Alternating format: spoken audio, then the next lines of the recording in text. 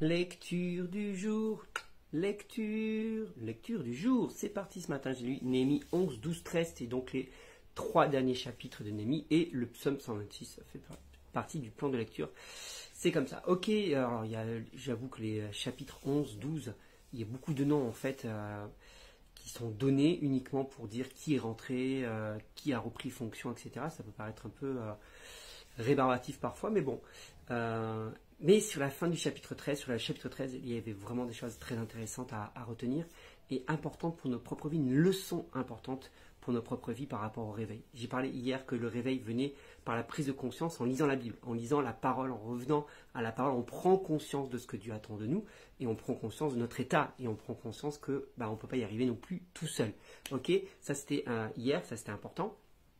Et puis dans le chapitre 13, on voit que Némi finit par rentrer euh, auprès du roi, parce qu'il euh, avait un boulot, hein, l'ennemi, hein. il a une grâce, une faveur du roi pour venir à Jérusalem, mais à un moment donné, il a bien fallu qu'il rentre.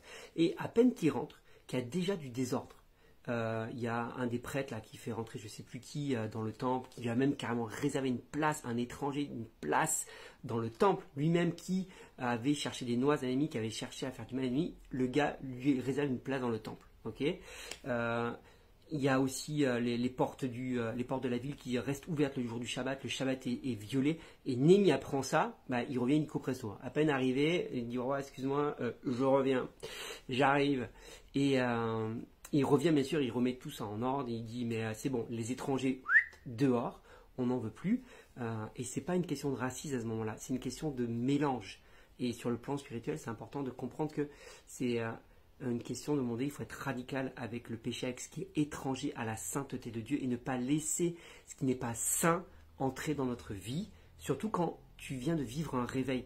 Parce que c'est ce que va dire euh, Néhémie au peuple. Il dit, mais rappelez-vous, c'est à cause de ces choses-là qu'on est arrivé à la déportation. C'est à cause de tout ce que vous êtes en train de faire là. Violer le, euh, Shabbat, euh, faire rentrer des étrangers dans le temple et faire toutes ces choses-là. C'est à cause de ça que nous avons été euh, déporté et que le temple a été détruit, que les murailles ont été détruites. Donc ne recommencez pas à faire la même chose. Et vraiment, moi, ça me parle spirituellement. Parfois, on peut avoir un, réveil personnel dans nos vies, on peut avoir une prise de conscience, mais si on n'est pas vigilant, si on n'est pas rigoureux, on peut rapidement retomber dans les mêmes choses qu'on faisait avant ce réveil-là. Et donc, un réveil, c'est bien.